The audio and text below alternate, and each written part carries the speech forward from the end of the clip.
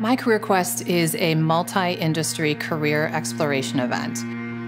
So, we have four different industries that come together to show students what it's like to have a career in one of these industries.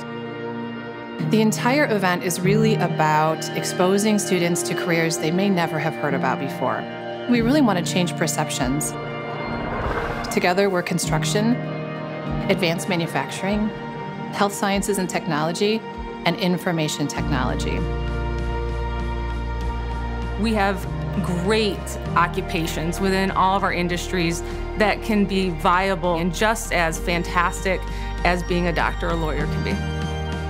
It really started because Michigan Works saw that there was a need for students to see careers and career opportunities.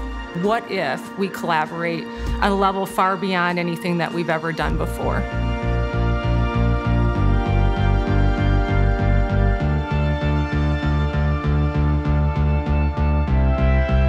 Career Quest intentionally is a different experience. It's designed for the students to interact with employers in a way that they can touch and see and experience the day-to-day -day job that they might encounter if they pursued that occupation. I think it's important for the community in the region to support our economic viability in West Michigan. These sectors are all high growth, high wage opportunities. This is a very influential time in students' lives and quite frankly, the opportunities are limitless right now. I cannot get 9,000 students into my company alone. But what I can do is collaborate with my peers and with my competitors and with my educators, and I can showcase in a way that's far beyond anything that I can do as an individual. MiCareerQuest is employer driven. And so that means that we need businesses to come to the table to say, we're willing to give our time. We're willing to give our people the opportunity to work with students. We're willing to bring our equipment in and we're willing to help fund this event.